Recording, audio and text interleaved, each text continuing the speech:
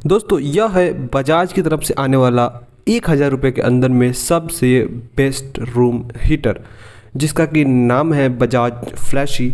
और यह जो है ना, आप प्लग करोगे तो आप विश्वास नहीं करोगे, यह लगभग आधे से एक मिनट में अपनी गर्मी को गेन कर लेता है इलेक्ट्रिसिटी से। आप यहाँ पे इसके वोल्टेज कंजप्शन को भी देख सकते हैं।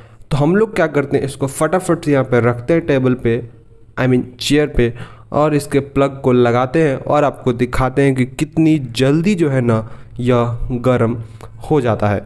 तो देखिए, जब हमने प्लग कर लिया तो अगर आप इसको बाई करने का सोच रहे हैं दोस्तों तो इसका बाइंग लिंक हमने डिस्क्रिप्शन में दिया हुआ है। आप वहाँ से जाकर के लिंक पे क्लिक करके अमेज़ोन से बाई कर सकते हैं। आपको मार्केट से सस्ता ही मिल जाएगा अमेज़ोन पे। तो आपको लिंक मिल जाएगा डिस्क्रिप्शन में। आप वहाँ से क्लिक करके इस हीटर को बाई कर सकते हैं और हज़ार रुपये के आसपास में जितने भी बढ़िया बढ़िया रूम हीटर्स आते हैं उन सभी को भी चुन करके हमने डिस्क्रिप्शन में लिंक दे दिया है। तो आप उसे जाकर के क्लिक करके देख सकते हैं।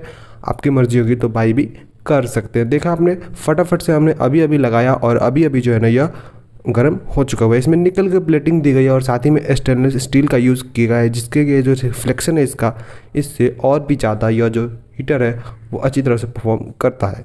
तो हज़ार रुपये के अंदर में यह काफ़ी बेस्ट रूम हीटर है। जाइए फटाफट से बाई कर लीजिए। लिंक डिस्क्रिप्शन में दिया हुआ है। हमने इसके प्लग को निकाल दिया है। अभी आप देख सकते हैं, अभी भी जो है ना, एक दो मिनट तक यह जो रूम हीटर हीटर है, ये गर्म रहेगा।